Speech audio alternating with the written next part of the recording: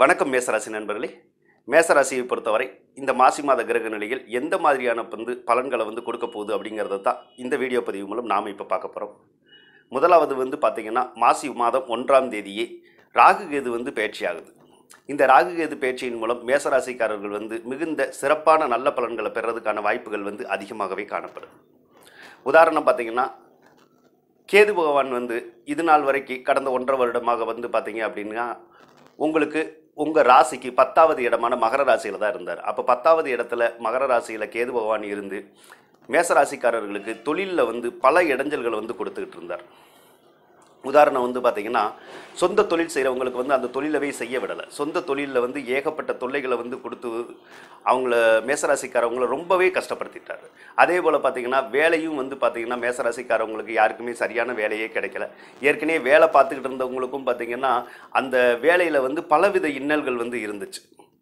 சிலருக்கெல்லாம் பார்த்தீங்கன்னா வேலை பார்த்துக்கிட்டு இருந்த கம்பெனியவே இழுத்து போட வேண்டிய ஒரு சூழ்நிலை கூட வந்துருச்சு. அதனால் பல மேசராசிக்காரர்கள் வந்து வேலையை வந்து இழந்துட்டாங்க. அதே போல் புதுசாக வேலை தேடுறவங்களுக்கும் வந்து பார்த்திங்கன்னா மேசராசிக்காரர்களை பொறுத்த வரைக்கும் வேலையே கிடைக்கல. இதன் காரணமாக மிகுந்த ஒரு மன உளைச்சலோடு தான் மேசராசிக்காரவங்க இவ்வளோ நாள் இருந்துக்கிட்டு இருக்காங்கன்னே சொல்லணும். அப்போ என்னன்னு கேட்டிங்கன்னா இந்த மேசராசிக்கு இந்த கேது பகவான் வந்து இப்போ மகர ராசியிலிருந்து தனுசு ராசிக்கு வந்து இன்று பயிற்சி ஆகின்றார். இதன் மூலம் பார்த்தீங்கன்னா தொழில் ஸ்தானத்தில் இருந்த இடைஞ்சல்கள் எல்லாமே உங்களுக்கு விலகப் போகுது. அதாவது பார்த்தீங்கன்னா வேலை கிடைக்காதவங்களுக்கு இனிமேல் வேலை கிடைக்கிறதுக்கான வாய்ப்புகள் அதிகமாக இருக்குது தொழிலில் வந்து இடைஞ்சல் இருந்தவங்களுக்கு அந்த இடைஞ்சல்கள் எல்லாமே விலகி தொழிலில் வந்து ஒரு நல்ல நிலையை அடையிறதுக்கான வாய்ப்புகளை வந்து அந்த கேது பகவான் வந்து உங்களுக்கு கொடுப்பார். ராகு பகவானை பொறுத்தவரை இதுவரை நான்காவது இடத்திலிருந்து தாயார் வழியிலும் தாயாருடனும் பகைகளை உருவாக்கி அல்லது தாயாருடன் வந்து பார்த்திங்கன்னா அவங்களுக்கு நோய் நொடிகளை கொடுத்து நமக்கு வந்து ஒரு ஒரு சிரமத்தை வந்து ஏற்படுத்தி இருந்திருப்பார் அந்த ராகு பகவான். அதே மாதிரி சொந்த பந்தங்கள் எல்லாமே பகைக்க வச்சிருப்பார். சுயதொழிலையும் வந்து இழுத்து மூட வேண்டிய ஒரு சூழ்நிலையெல்லாம் வந்து அந்த ராகு பகவான் தான் கொடுத்துருப்பார். இப்போ அந்த ராகு பகவான் தங்கள் ராசிக்கு மூன்றாவது இடத்துல வந்து பயிற்சி ஆகுது. அது வந்து ஒரு சிறப்பான இடமாகும். அப்போ என்ன நடக்கும் அப்படின்னு கேட்டிங்கன்னா தங்களுக்கு சொத்து சுகத்தில் தாயார் வழியில் இருந்து வந்த இடைஞ்சல்கள் எல்லாமே ராகு பயிற்சியின் மூலமாக விலகப் போகுது. உங்களுக்கு ராகு பகவான் வந்து மூன்றாவது இடத்துல இருக்கிறனால பல வெற்றி வாய்ப்புகளை கொடுக்கறதுக்கான வாய்ப்புகள் இருக்குது நல்ல தைரியம் நல்ல தன்னம்பிக்கை இவைகள் எல்லாம் கொடுத்து நீங்கள் செய்கிற காரியங்களை வந்து மேன்மேலும் வெற்றி அடைகிறதுக்கான வாய்ப்புகளை வந்து அந்த ராகு பகவான் வந்து உருவாக்கி தருவார். அதே போல் பார்த்தீங்கன்னா மேசராசிக்காரங்களுக்கு இந்த மாதத்தில் வந்து பார்த்தீங்கன்னா ராசி அதிபதி வந்து ஆட்சி பெற்று காணப்படுகிறார். ராசி அதிபதி செவ்வாய் ஆட்சி பெற்று காணப்படும் போது மேசராசிக்காரர்களுக்கு பலருக்கு வந்து நல்ல பலன்கள் நடக்கிறதுக்கான வாய்ப்புகள் வந்து இந்த மாசி மாதத்தில் இருக்குது உதாரணம் என்னென்னு கேட்டிங்கன்னா மேசராசிக்காரர்கள் செய்கிற காரியங்களில் எல்லாமே வெற்றி வாய்ப்புகள் வந்து கிடைக்கிற மாதிரியான ஒரு விஷயங்களை வந்து அந்த செவ்வாய் பகவான் வந்து உருவாக்குவார்.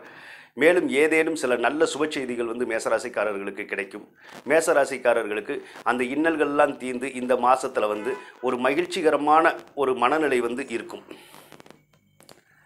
இது நாள் வரைக்கும் இல்லாத ஒரு சுறுசுறுப்பு வந்து பார்த்திங்கன்னா இந்த மாதத்தில் உங்களுக்கு அதிகமாகவே இருக்கிறதுக்கான வாய்ப்புகள் வந்து இருக்குது எனவே மேசராசிக்காரர்களுக்கு பல நல்ல வித ப பலன்களை வந்து செவ்வாய் பகவான் கொடுக்கறதுக்கான வாய்ப்புகள் இருக்குது மேசராசிக்காரர்களின் பெயர் புகழ் எல்லாமே கொஞ்சம் இந்த மாதத்தில் கூடி சந்தோஷகரமாக இருப்பதற்கான வாய்ப்புகளை வந்து செவ்வாய் பகவான் உங்களுக்கு உருவாக்கி தருவார்.